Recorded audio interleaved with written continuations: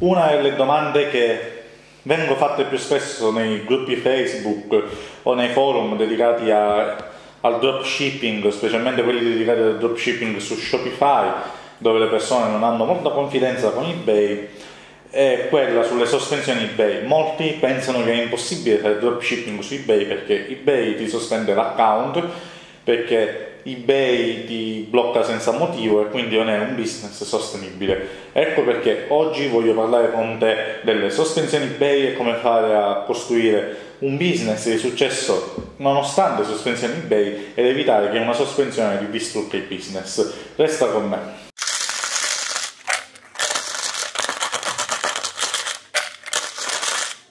Ciao ragazzi, bentornati nel mio canale. Vi ringrazio per esservi iscritti, stiamo crescendo, grazie a tutti, come sempre. Eh, come abbiamo visto, oggi andremo a parlare delle sospensioni eBay e nello specifico come fare a costruire un, un business, il dropshipping di successo su eBay nonostante le, sosten- le sospensioni. Eh, mi ricordo quando ho iniziato a fare dropshipping su eBay, dopo i primi tre mesi, ho ricevuto la mia prima sospensione a tempo indeterminato e questo ovviamente è molto frustrante e molto diciamo ti, but, ti butta giù perché ovviamente dopo che lavori, dopo che cominci a vedere dei risultati eh, ti, ti, distruggono tutto, ti, ti tolgono tutto da, senza preavviso. Eh, ma co- cosa ho fatto? Cosa, cosa ho pensato? Molti vedono questo come un limite. Io invece ho pensato che eh, è un business che funziona perché se ha funzionato per tre mesi e ci sono persone che lo fanno da anni, probabilmente ci sarebbe stato il modo eh, per bypassare questo e fare in modo che funziona. Eh, premettiamo che le sospensioni eBay non sempre sono casuali, molte volte che ovviamente l'algoritmo di eBay eh, analizza decine e decine di, eh, di, di variabili quando, quando, operiamo, quindi molte volte una sospensione senza senso in realtà ha altre motivazioni dietro che noi ignoriamo. Questo, ma non è questo l'argomento del video, ho fatto un video dedicato, vi, vi lascio la scheda per andarla a vedere in cui parlo delle sospensioni eBay. Eh, in questo caso voglio parlare su come costruire esattamente il business nonostante le sospensioni, perché le sospensioni possono accadere, anche se possiamo limitarle, in ogni caso dipendiamo da un'altra piattaforma che ci può limitare, che ci può sospendere o buttare fuori. Però ragazzi, eh, prima di addentrarci un attimo nei dettagli, non fatevi, non, non fatevi limitare da questo, perché eh, questo quando operi online, a meno che sei un colosso, come Amazon, eh, è difficile che non dipendi da qualcun altro. Mettiamo il caso chi fa dropshipping su Shopify, ha sempre problemi perché eh, ha problemi con il business manager, viene sospeso da Facebook al business manager o Shopify ti può chiudere il, il negozio, dipendi da Stripe, dipendi da Shopify Payments, dipendi sempre da qualcuno. Se vendi su Amazon Amazon blocca chi account ancora, ancora, più spesso di eBay ed è molto più difficile sopravvivere per tanti motivi che non sto a spiegare in questo video. Eh, quindi non deve essere un limite, dovete, dovete, accettarlo e trovare il modo, come andiamo a vedere, di lavorare, eh, lavorare nonostante queste, diciamo, queste, questi eventi e prevenirli, perché questo è il punto, dobbiamo prevenirli per evitare di farci buttare a terra e farci distruggere quando accadono. Ma andiamo un attimo ai livelli pratici. Co- cosa ho fatto? Qual è la soluzione? Ragazzi, la soluzione per eh, non farci distruggere è ovviamente avere più negozi, più account eBay. Voi avete un solo negozio, una sola entrata e vi tolgono quell'entrata, ovviamente eh, è più difficile reagire, ovviamente vi butta a terra, vi, vi, vi cominciate a deprimere, a deprimere, vi cominciate a dubitare di questo modo di lavorare, ok? Eh, invece avendo più entrate, avendo più negozi dove splittare il vostro business, il vostro rischio, perché state splittando il vostro rischio, se ve ne eliminano uno per qualsiasi motivo, ne avete altri due, altri tre, altri dieci, sì, la prendete a male, state a un momento l'impatto fa male, ok, è normale, vi stanno togliendo comunque una fonte di entrata, un, una cosa in cui avete lavorato, però ne avete altri tre, ne avete altri nove che vi, da, da, da sostenere, che vi sostengono, quindi non è la fine del mondo. Oltre che ovviamente è più facile scalare avendo più negozi e anche eh, eh, vi divide il rischio, ok? Vi splitta il rischio, vi dà una certa sicurezza. Ovviamente aumenta il lavoro di gestione, ma aumenteranno anche gli introiti, aumenteranno anche le entrate avendo più negozi. Ma come, fa, come facciamo a gestire più negozi? Ci sono eh, due tipi di account eBay, ok? Eh, diciamo due tipi di multi-account. Eh, il primo tipo si chiama uh, account linker, account collegato, cioè eh, collegato a voi, voi avete due account con gli stessi nominativo, con, stessi, eh, con, con gli stessi dati, lo stesso numero di telefono, eh, eh stesso IP, stesso, stessa macchina, eh, macchina intendo il computer, e ovviamente eBay, la l'algoritmo eBay sa che siete voi, e quindi se ve ne sospendono uno, vi sospendono anche l'altro. Eh, seco- il, secondo, il, secondo, tipo di multi-account si chiama in inglese stealth, cercate su Google stealth, se mangiate un po' di inglese troverete una montagna di documentazione.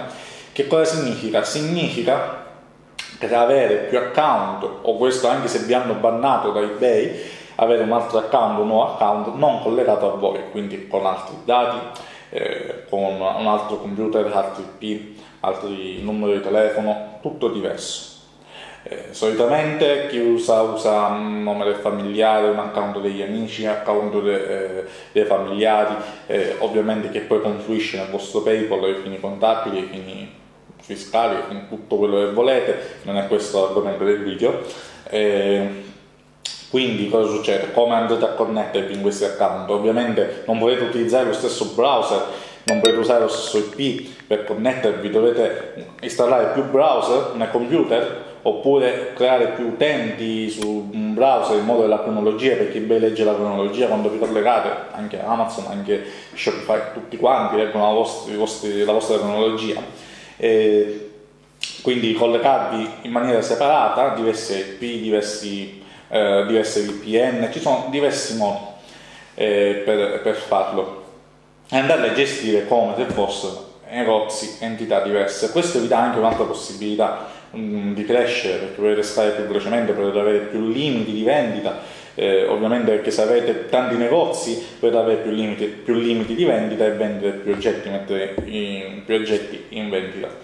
Eh, ovviamente poi qua nasce la, la, domanda, immagino, come faccio a gestire tutti questi account? Diventa un casino, devo connettermi ogni giorno da una, un computer diverso, da un browser diverso, con IP diversa, devo fare collega e scollega ogni giorno Ecco perché noi andiamo a utilizzare dei software esterni, eh, come per esempio AutoDS, che trovate il mio link in descrizione, per gestire i nostri account. AutoDS ci dà la possibilità di inserire eh, diversi account, 10 account, 20 account, eh, da gestire tutti nella stessa piattaforma, quindi avremo il customer service, i messaggi tutti i messaggi, gli account sul software, tutti gli ordini, gli account sul software, potremmo inserire prodotti detenuti dal, soft, dal software in tutti i negozi, potremmo gestire gli out of stock, mm, ovviamente out of stock significa oggetti non più disponibili alla vendita, eh, potremmo gestire a tre, quasi a 360 gradi i negozi eBay senza accederci, quindi ovviamente avremo sempre un pannello di controllo principale da cui gestirlo. Comunque ho fatto altri video su software, ne farò altri, questo video è un attimo dedicato a,